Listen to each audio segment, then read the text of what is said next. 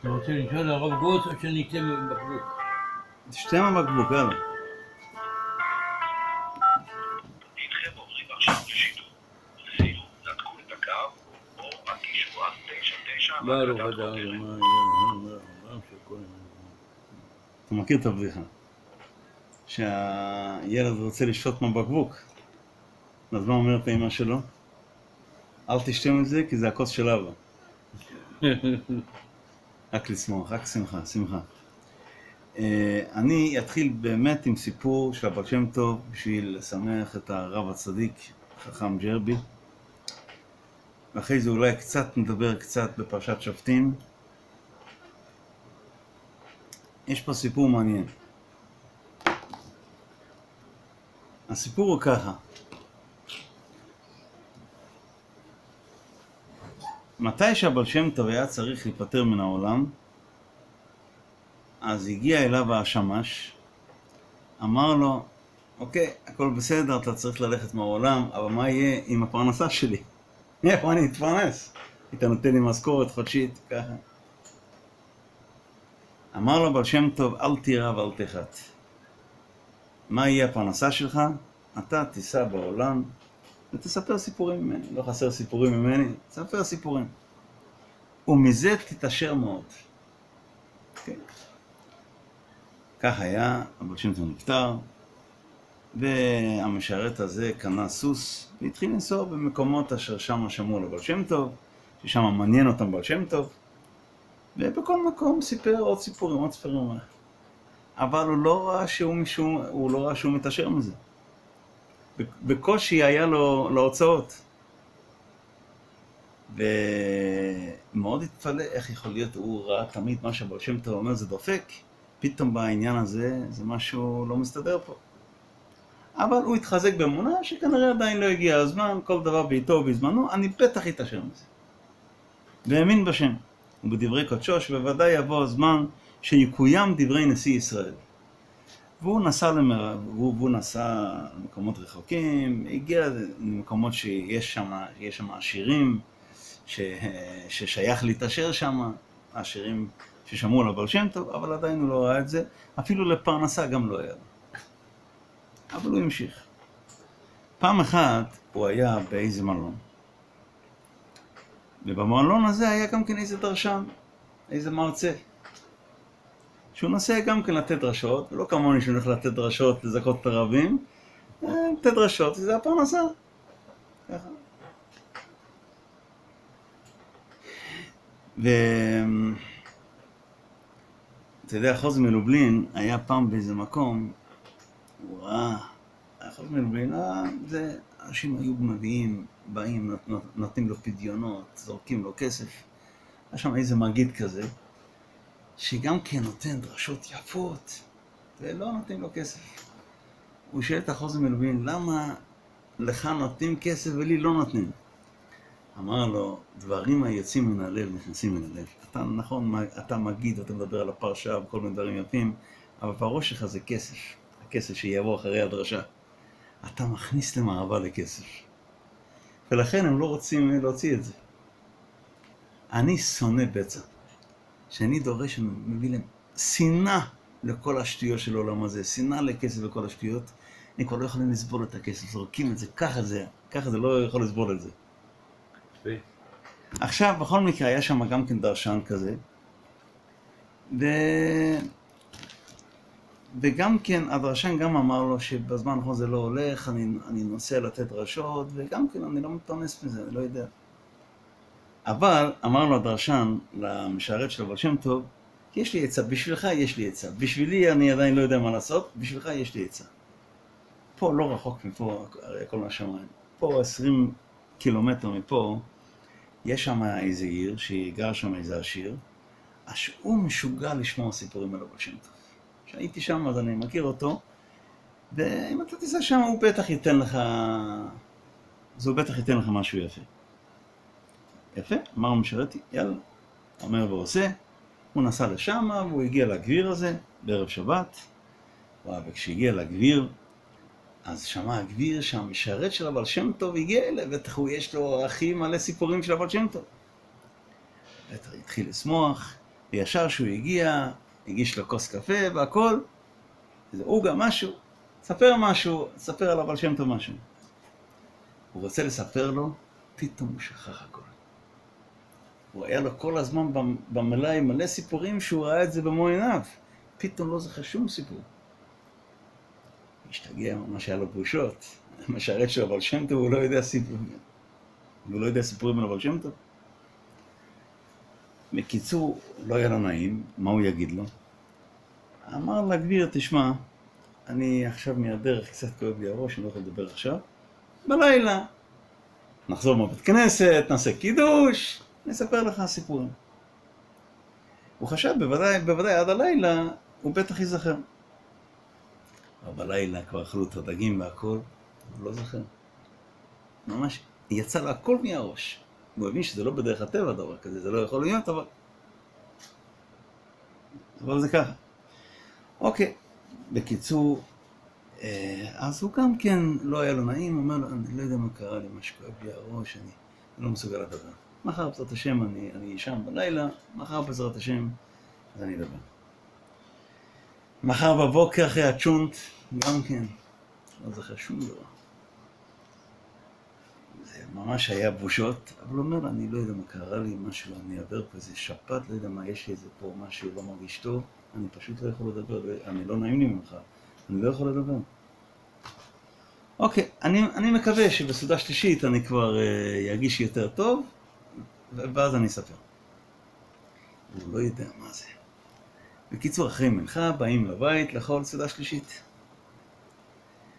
עכשיו הגביר הזה זימן אורחים, כל הרבנים של העיר, אמר, יש לי פה את המשרת של הבעל שם הוא הולך לספר פה סיפורים, חבל על הזמן, וזה. והמשרת, הוא שם אותו באמצע כמו איזה אדמו"ר גדול, עבד מלך מלך.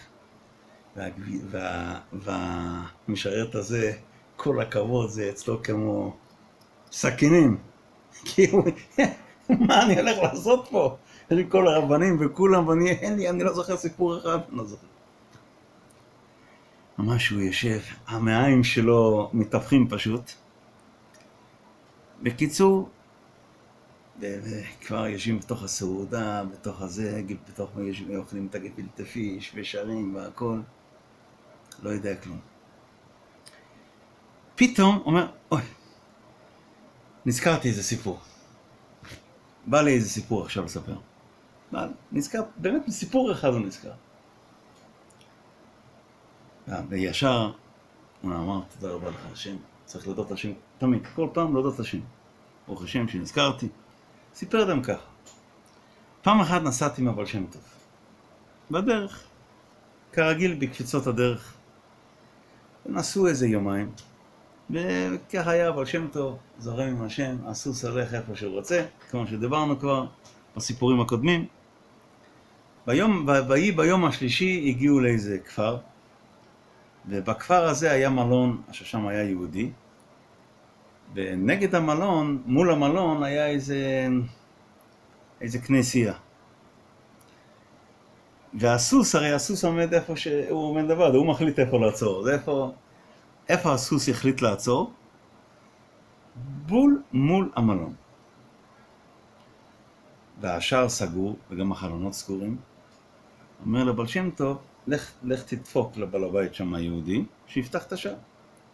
הלכתי, דפקתי, אף אחד לא עונה. התחלתי לדפוק חזק.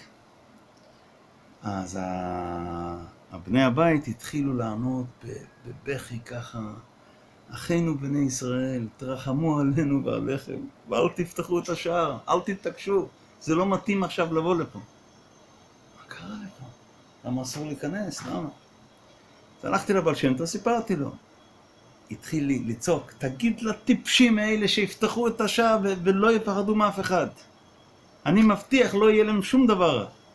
אני לא ידעתי למה, מה הם בוכים, ומה הבעל שם טוב מבטיח שלא יקרה להם שום דבר. מה הולך להיות פה? אני לא הבנתי מה יש פה. אז אני הלכתי עוד פעם לבקש שיפתחו והכל, והם אמרו שזה סכנה והכל, ואמרתי להם שהבעל שם טוב אומר שלא צריך לפחד, אז הם פתחו. כאשר אנחנו נכנסנו לתוך הבית, אה, אוקיי, אנחנו נעשה פה אתנחתא, ומחר, ומחר נמשיך עם הסיפור. כן? סיפור בהמשכים. אבל מחר אתה לא פה. יום חמישי. אבל למה אבל? רציתי לראות, רציתי לראות את התגובה. רציתי לראות את החיוך שלך.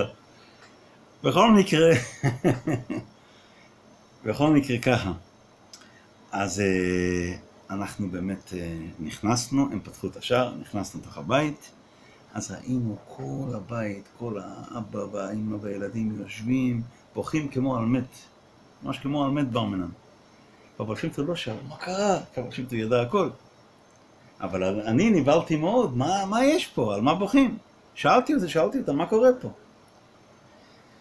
אמרו לי, כי יש במדינה שלנו, יש פה איזה כומר, לא סתם כומר, כומר גדול, אפיפיור כזה.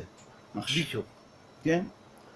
והוא, כל שנה הוא בא, תופס איזה אזור, ושם הוא בא לדרוש, ובאים כל מיני שרים וכל מיני גויים לשמוע אותו, והוא דורש, מרצה.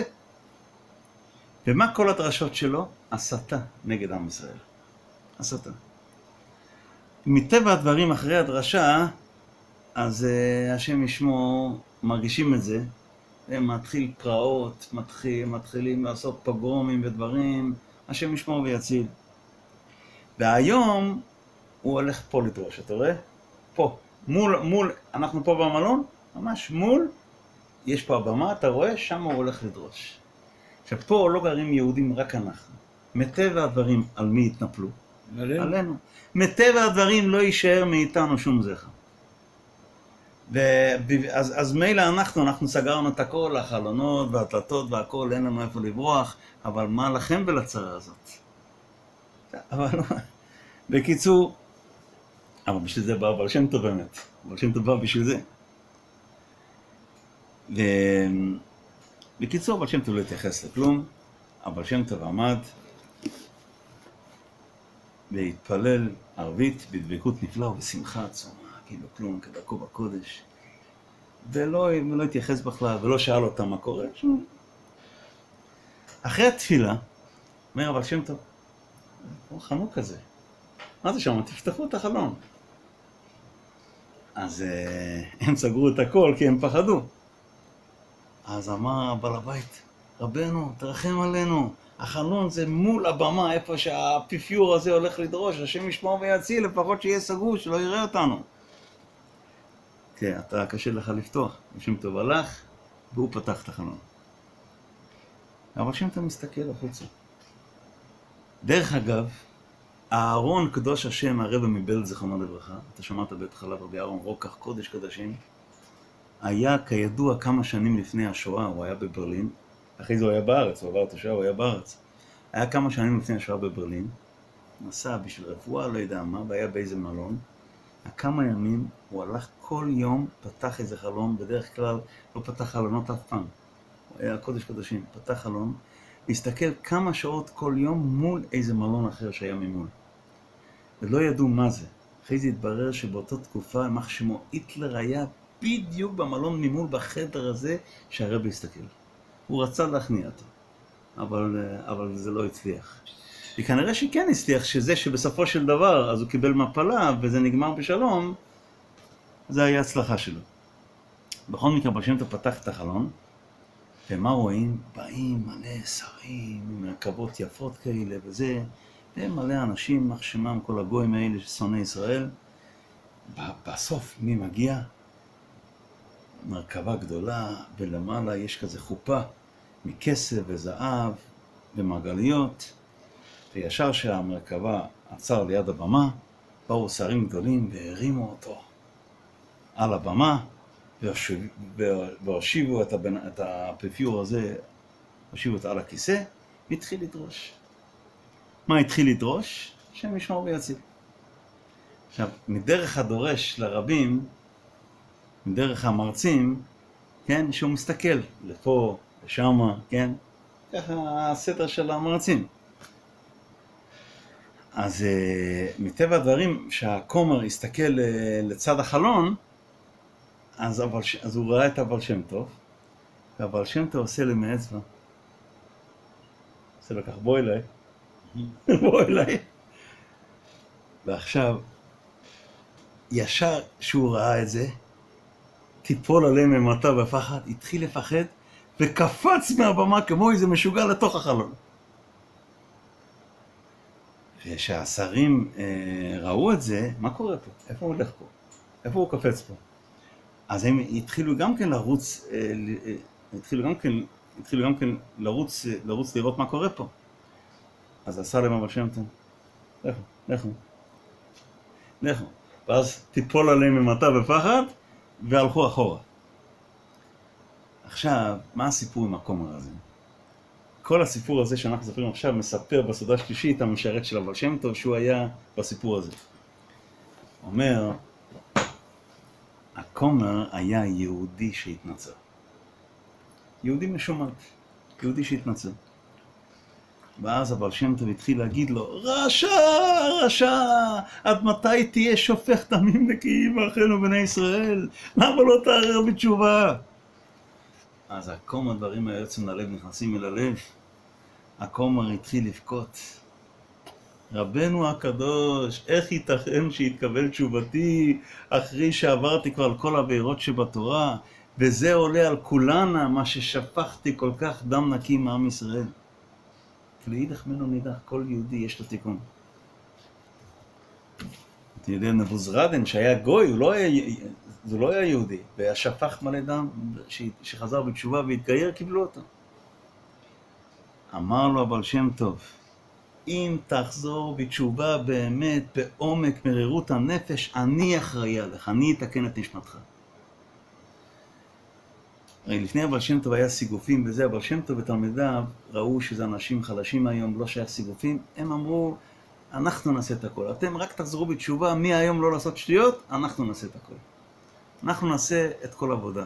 כך אמר רבי נחמן גם, אם אדם בא אליי בציון, לא צריך ראש השנה, פעם בחיים, ואומר תיקון הכללי, ונותן פרוטה לעילוי נשמתו, ומקבל על עצמו שמהיום לא יעשה שטויות במזיד, אני אחראי להוציא אותו משל תחתית. אז עכשיו, אמ- אמר לו, אני אתקן את נשמתך. אמר לו הכומר, אוקיי, אני מוכן לדיל. במה ידע שנשמתי מתוקנת? אמר לו בר שם טוב, סימן זה יהיה מסור בידך. כאשר ברבות הימים יבוא אחד לביתך ויספר לך את הסיפור הזה, תדע שנשמתך מתוקנת.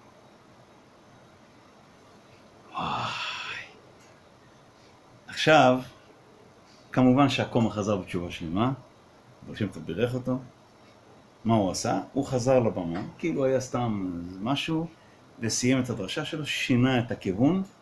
הרי מקודם אמר שהיהודים הם ככה וככה וככה, אז הוא אומר, אוקיי, אבל uh, אני רוצה להגיד לכם, נראה לי, אני בערך, זה לא כתוב בדיוק מה שהוא אמר בסוף, אבל אני מעריך בערך. נראה לי, אמנם הם זבל והכול, אבל כשאנחנו נעשה מלחמה איתם, זה רק, זה רק, זה רק יעשה הפוך. אנחנו צריכים ללכת איתם הפוך על הפוך. להיות כאילו חברים שלהם, וככה נתפוס אותם. זה מן השמיים, אתה רואה? בקיצור, אז רבותיי, מהיום, אני שונא אותם, אין שונא ישראל כמוני. אבל אני אומר לכם, צריך להבין מה צריך תכלס, מה צריך בתכלס לעשות. בקיצור, אוקיי, כולם נסעו ולא עשו ליהודים גורניש, לא עשו להם כלום, לא עשו לבעל המלון הזה כלום. זה, זה הסיפור שהמשרת אומר, זה יש לי מה לספר לכם. ואומר המשרת, מה נהיה עם הגביר אחר כך אני לא יודע, מה נהיה עם, ה... עם, ה... עם הכומר הזה אני לא יודע. זה מה שאני יודע שהיה. אבל שם טוב קרא לו וכל הזה. מה אחרי זה נהיה עם הכומר, אין לי שום מושג. אז uh, השם יודע. אמר, אמר הגביר הזה, וגם אני יודע. וגם אני יודע. בקיצור, אז uh, אמר, אוקיי, יאללה, ברכת המזון. ברכת המזון, מים אחרונים חובה, וברכת המזון. יש אחד בדרן, ינקי מילר באמריקה, שאומר, אם אין מים אחרונים, אפשר להביא סתם מים. הבדרן ינקי מילר פעם אומר, עכשיו נכבד את הגאון הצדיק הכהן לברך ברכה אחריתה. הוא אומר, אני לא כהן, וצדיק אתה כן? הוא אומר, למה מכבדים את הרב בברכה אחריתה? תן לו ברכה ראשונה. כי אין אימון. תיתן לו ברכה ראשונה, הוא יגיד את הכל. הוא אומר, למה עושים מזרח לרבנים? עושים להם מזרח. כי אומר, אם לא יעשו את הכותל המזרחי, אם לא יעשו את הכותל המזרחי, הם ילכו, ילכו, ולא, יודע, ולא יודעים איפה לעצור. לעשות את הכותל המזרחי כדי לעצור אותם עד כאן. בכל מקרה, ובירכו ברכת המזון, והתפלל ערבית הגביר הזה, עם המשרת, וכולם עשה, ועשו הבדלה, וישר הלך הגביר לחדר שלו, סגר את הדלת, וישב שם שעתיים, ואומר למשרת, תחכה פה, אני, אני, אני אתן לך משהו, אל תדאג. תחכה פה, אני צריך לשבת שעתיים איתי, אני צריך לשבת איתי קצת. כולם מתפלאים. כל אלה שהכירו את הגביר, יודעים שהגביר הזה משוגע לשמוע סיפורים של הבעל שם טוב. לא יודעים למה, אבל הוא משוגע לשמוע סיפורים של הבעל שם טוב. ותמיד כשהוא שומע סיפור, הוא שמח. אבל מה, השמחה של עכשיו לא, לא אף פעם. היה שומע סיפורים יותר יפים, אני לא, לא יודע אם יש יותר יפים, אבל סיפורים כאילו יותר יפים. ולא כל כך התרגש. מה הוא כל כך התרגש מהסיפור הזה? אוקיי, עבר שעתיים, בינתיים הגביר נכנס מהחדר שלו, נכנס לסלון, ובידו שקים מלאים מעות, עשירות מופלג, ואומר למשרת, קח את ברכתי, כי זה שייך לכבודך. לא רוצה? מה? זה לא נעים לי לקחת, בשביל, בשביל, סיפור אתה רוצה לתת לי עושר כזה? מה קרה לך? לא, אז מה קרה? מה קרה? אז מה קרה? לא נעים לי. הוא אומר, אתה חייב לקחת את זה. וכולם התפרעו. כולם התפלאו. כי ידעו שהוא שומע סיפורים של הבעל שם טוב, אז הוא נותן uh, מתנה יפה. אבל uh, לתת עושר להשאיר מישהו בשביל סיפור אחד, הבינו שזה לא פשוט. אמר להם הגביר, לא, זה לא תתפלאו, אני אגלה לכם שורש הדבר. למה אני באמת רוצה לשמוע סיפורים על הבעל שם טוב כל הזמן? אני זה הקומה. הקומה זה אני. והוא אומר, וכל ימיי השתוקקתי לשמוע סיפורים על שם טוב, הכוונה היה לשמוע את הסיפור הזה. הסיפור הזה, שאני אדע שנשמתי, מתוקנת. וסליחה שאני קוטע אותך. תמיד ידוע שאדם חוזר בתשובה, יש מלא סיפורים של בעלי תשובה שהם היו עשירים גדולים, אבל זה היה מהסטרא אחרא, שחזרו בתשובה, מאבדים את הכסף, זה ידוע. הכוח של הבעל שם טוב היה רשע כזה להחזיר אותו בתשובה, ושלא יפסיד בעולם הזה גם כן, לא יפסיד את הכסף. עכשיו, המטרה היה להגיע לסיפור הזה, הגעתי לסיפור הזה, אני יודע שנשמתי מתוקנת.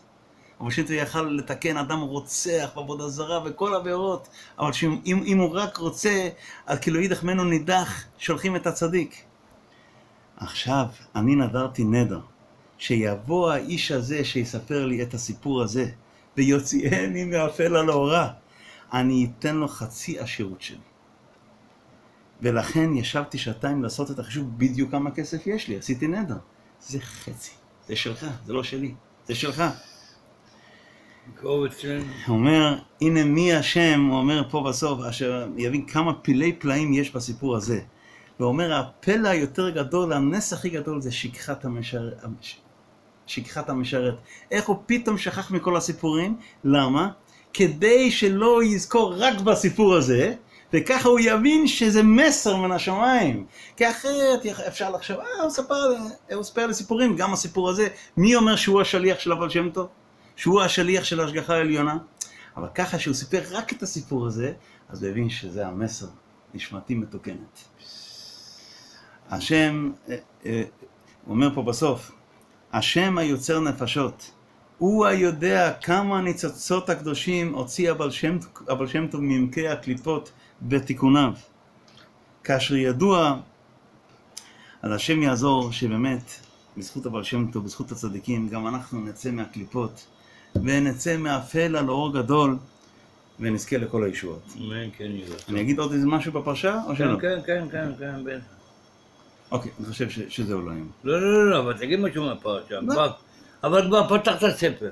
אסור לסגור. שופטים ושוטרים תיתן לך בכל שעריך, אשר אל השם אלוקיך נותן לך לשבטיך, ושפטו את עם משפט צדק. זה הרבנים הצדיקים שהשם שולח מן השמיים להציל אותנו.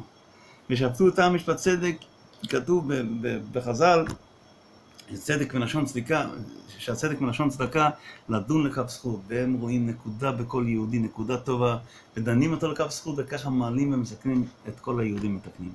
שידעו שגם אנחנו נקבל תיקון, ותקננו בעצה טובה מלפניך, בדרכים. טובים, לא. בדרכים של עונשים, אבל מחוק ברחמיך הרבים, אבל לא על ידי ייסורים וחלאים רעים. אמן. שנזכה רק בדרך הטוב, הראנו השם חסדיך, חסדים נגלים, ידעו שנזכה לכל הישועות.